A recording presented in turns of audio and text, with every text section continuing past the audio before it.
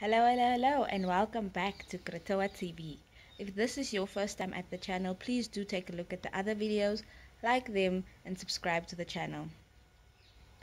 As most of you know, this is almost a year after the last time I posted a video on YouTube, and so much has happened in the meantime.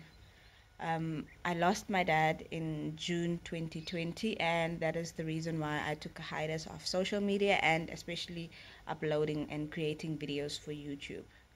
Um, I was dealing with the death of my father in very unhealthy ways. Um, I picked up weird coping mechanisms, and it was just detrimental to my health.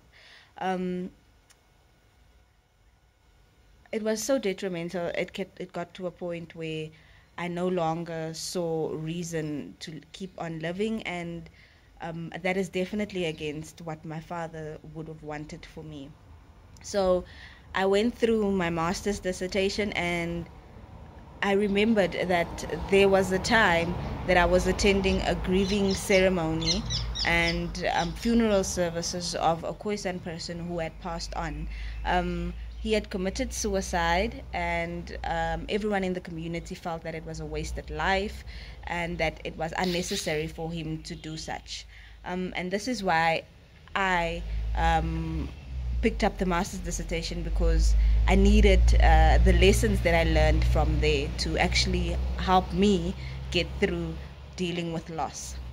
And when I was at the ceremony, most of the time, and all of the time actually, all of the attention was spent and given on those that the deceased have left behind. So the family members, the wife, the kids, and everyone that was close to this person. And the the leader kept um, putting emphasis on telling the family to stand up, let the community have a look at them, and see how full of sorrow they are and how saddened they are by this act. And um, for an outsider, this might seem different or it might seem harsh because they were telling the truth. They were talking the truth about the deceased. They were saying how he could have lived his life better, how he should have just reached out, and how how it has affected those that have stayed behind.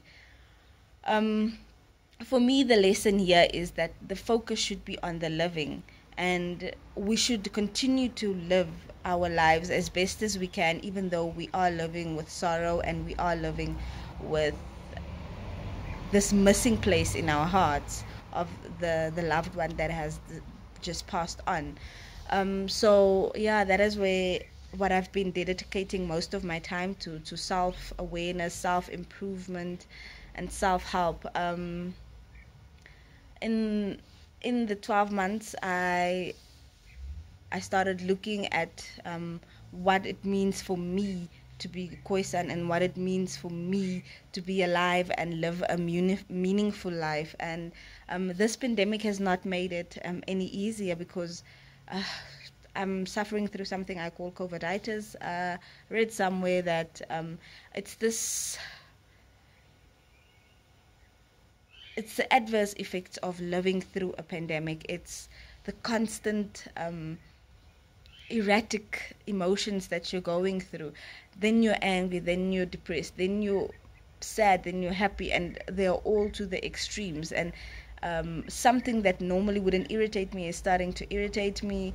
I get angry more often, and I'm sure a lot of you are also experiencing this. And I've been talking to friends, and they have also been experiencing this. So in that regard, I can all I can do is ask everyone to be kinder and to be nicer to one another because we're all living through a pandemic simultaneously while trying to figure out who we are as people in this country, in this universe, just who we are. Um, yeah, that's it from my side. I just want to wish you guys to be kinder to one another. And if you're going through loss um, due to this pandemic, if COVID has taken um, any one of your family members, please, please, please, please, please. The best thing to do is focus on yourself and focus on living or focus on continuing to live without this person in your life because I understand that we get so wrapped up in our emotions that we do not see the good in anything anymore. But all I want to do is say, um, remember the way or this is the way the Khoisan people experience death, is that they focus on those that are left behind. So the community focuses on those that are left behind, and those that are left behind focus on themselves. And this is what I want for you guys to focus on yourself. Thank you for watching the video and continue to sub- stay subscribing to the channel. And remember to be kind to one another. Thank you.